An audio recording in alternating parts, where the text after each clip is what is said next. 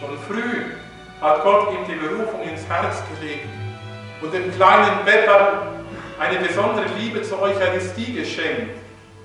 Als Kind hatte er zu Hause einen Hausaltar und spielte die Messe, spielte das, was er hier täglich aufmerksam mitverfolgte und wo er schon betete, dass der Herr ihm auch einmal diesen Weg öffnet.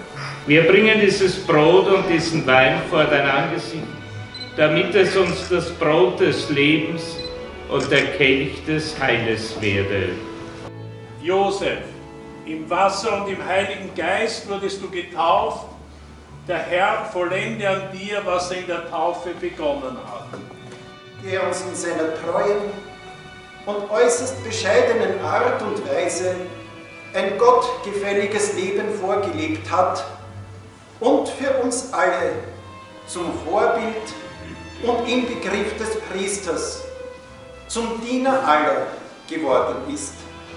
Getreu seinem Leitspruch, der Eifer für dein Haus verzehrt mich.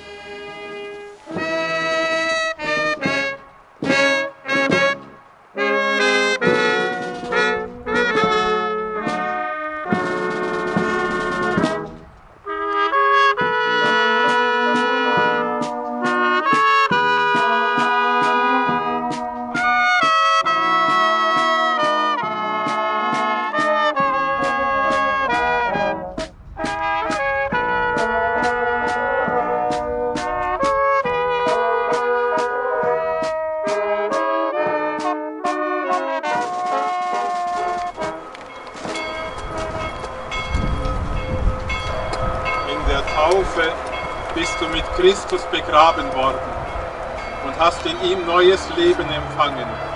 Der Herr vollende an dir, was in der Taufe begonnen hat. O Herr, gib ihm die ewige Ruhe. das ewige Licht reichen. Herr, lass ihn ruhen in Frieden. Amen.